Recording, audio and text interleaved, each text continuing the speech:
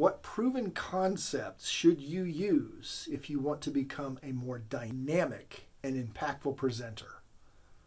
The answer to that question will be found in this daily dose of public speaking wisdom.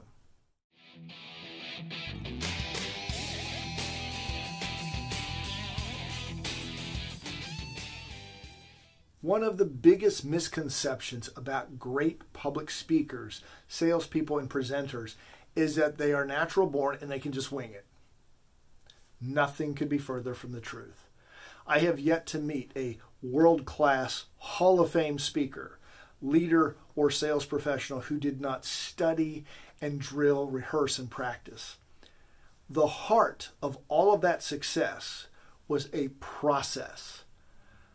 There is not one best or only way to be a great presenter, speaker, or sales professional. There's not. There are many. If you want to be a meaningful and memorable presenter, top of the line, best, it's imperative that you discover a process that works for you, your style, your personality, and then drill, rehearse, and practice until that formula becomes second nature to you. Once you've done that, something magical happens. You're freed up to be your authentic self every time you present.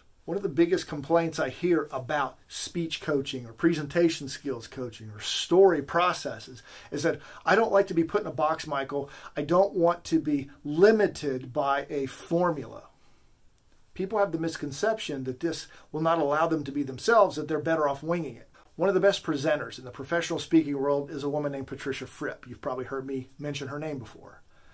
She taught me this line process doesn't freeze you, it frees you. Process doesn't freeze you, it frees you. As a quick example, I have a formula for storytelling called the seven C's to sensational storytelling. These are seven key elements. When I internalized those seven keys, I found that my natural style began to come through because I didn't have to think about the process. What was the order or structure of my story? Your tip for today is counterintuitive, but it works. If you're willing to learn a process, practice, drill, and rehearse it until it's second nature, you will be freed up to be more in the moment with your audience, to react more spontaneously and quickly to the unexpected. Find your process, internalize it, and watch how your speeches become much more dynamic and your audiences react to you in a much bigger and better way.